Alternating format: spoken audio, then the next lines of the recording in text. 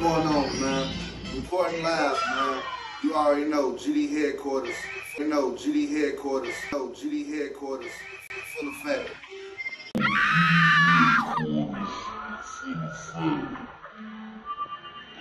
I want to talk to y'all. Uh, well, I want to talk to y'all. We just lost D-Thang. I know Lil Durk is going crazy, but um, D-Thang story is more so like a Mario and Luigi story. D-Thang was like Mario. That was Big Brother. You know what I'm saying? And Lil Durk is more like Luigi.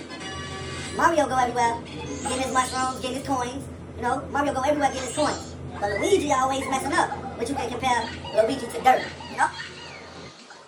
So, like I'm saying, if, if, if, if, if D-Thang is Mario and Luigi is, is Durk, boom, there you have it. You know what I'm saying? Money making D-Thang gonna go everywhere and get money, just like Mario. And y'all got Luigi following after him. But Luigi be doing little bad little stuff. Like some stuff like that Durk do, you know? They be antagonizing people. You know, so D-Thang, he was up in Club O, you know what I'm saying?